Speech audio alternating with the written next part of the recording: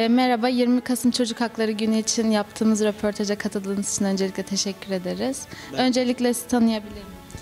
Ben Kıbrıs Sağlık ve Toplum Bilimleri Üniversitesi Rektörü Profesör Doktor İbrahim Levent Taner. Memnun oldum. E, birkaç tane soru soracağız. Çocuklara karşı yapılan ihmal ve istismara şahit olsaydınız ne yapardınız?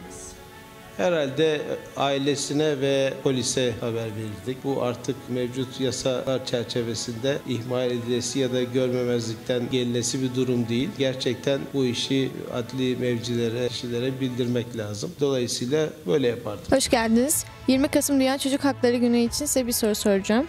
İlk önce sizi tanıyabilir miyim? Merhabalar, öncelikle hoş geldim. Çocuk Gelişimi Bölümü öğretim görevlisi Ayşe Mortaş. Memnun oldum. Gelecek nesil çocuklarımız neden mutsuz? Gelecek nesil e, çocuklarımız neden mutsuz? Şu anda Z kuşakları çocuklarımız tabii ki internet teknolojinin de gelişmesiyle birlikte tabii ki bilgisayar, tablet gibi araçların günümüzde yoğunluğu artmakta. E, Dolayısıyla çocuklarımız daha çok ev içerisinde kapalı vaziyetteler. Bu çocuklarımızın daha çok aileyle iletişim kurabilmeleri, daha sosyal olabilmeleri adına imkanlar yaratabilmemiz gerekir. Yani daha çok sosyal bir yaşamın sağlanması önemli. Bunun yanı sıra çok kısa belirtmek isterim ki ilgisiz anne baba tutumları da çocuklarımızın davranışlarını ciddi anlamda etkileyebilmekte. Çocuklarımıza daha çok ilgi, sevgi, şefkat gösterebilirsek daha mutlu bir nesil, daha mutlu bir toplum sağlamış oluruz. Sorumu yanıtladığınız için teşekkür ederim. E, merhaba, 20 Kasım Dünya Çocuk Hakları Günü için yaptığımız röportaja katıldığınız için teşekkür ederiz. Öncelikle sizi tanıyabilir miyim? Ben Deniz Bol Çocuk, öğretim görevlisiyim. E, size bir sorum olacak. En son çocuk için ne yaptınız? Çocuk esirgeme yurduna genellikle ayda bir bağış yapmaya çalışıyorum. Geçen ayda bunu gerçekleştirdim. Ee, bu ay yenisini yapacağım tekrardan. Teşekkür ederim. Hoş geldiniz. 20 Kasım Dünya Çocuk Hakları Günü için röportaja katıldığınız için teşekkür ederim. İlk önce sizi tanıyabilir miyiz? Ben yardımcı doçent doktor Hülya Şenol, biyomedikal mühendisliği bölüm başkanıyım. Size birkaç tane sorum olacaktır. Çocuklar için nasıl bir dünya hayal ediyorsunuz? Çocuklar için nasıl bir dünya hayal ediyorum? Tüm dünya çocuklarının sağlıklı olmasını istiyorum. Hepsinin en güzel eğitimi almasını istiyorum. Şiddete maruz kalmamalarını hayal ediyorum, istiyorum canı gönülden. Mutlu çocuklar görmek istiyorum. Teşekkürler. Sorularımı yanıtladığınız için teşekkür ederim. Hoş geldiniz. 20 Kasım Dünya Çocuk Hakları Günü için size bir soru soracağım. İlk önce sizi tanıyabilir miyim? Merhaba, ben İdil Sirkecili, KASTÜ'de Psikoloji Bölümü 3. sınıf öğrencisiyim. Memnun oldum. Çocuklara karşı yapılan ihmal ve istismara şahit olsaydınız ne yapardınız? Bence kesinlikle böyle bir durumda kim tarafından olursa olsun aile içinde de olabilir, yabancı bir tarafından da olabilir. Ailesidir, döver de sever de bu düşünceden çıkılarak ihmal, istismar, şiddet bu tarz şeylere tanık şahit olunduğunda yetkili bir merciye gidilmesi gerektiğini düşünüyorum. Ben olsaydım ben de öyle yapardım. Çünkü bu tarz çocukluk travmaları yetişkinlikte bireylerin ruhunda tamir edilmesi çok zor yaralar bırakıyor. Bu yüzden yetkili merciye gidilip kesinlikle sürecin takipçisi olunmasını düşünüyorum.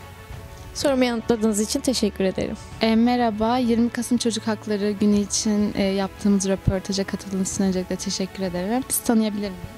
Merhaba, benim adım Kübra. Kastü Diş Hekimliği Fakültesinde ikinci sınıf öğrencisiyim şu anda.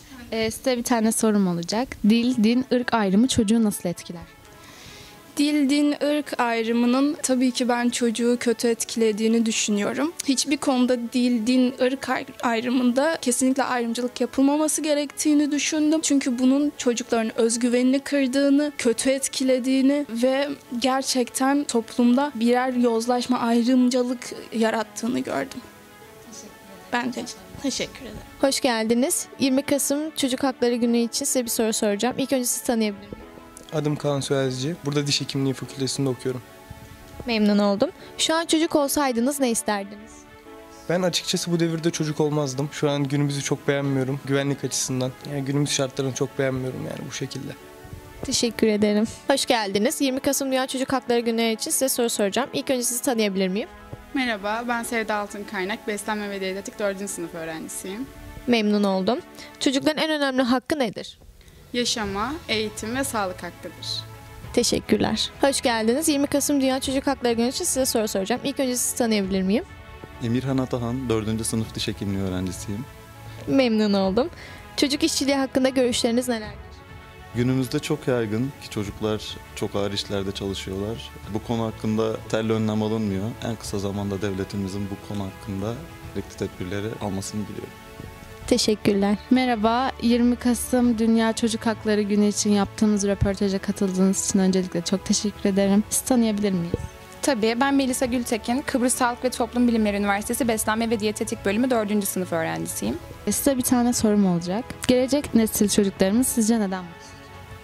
Gelecek nesil çocuklarının mutsuzluğunun en büyük sebebi gelişen teknolojiyle beraber beklentilerinin artması ve ailelerin ya da e, onları büyüten kişilerin ya da yanında yaşayan kişilerin o beklentileri sağlayamamasından kaynaklı gelecek nesil çocukları mutsuz olabiliyor. Rica ederim.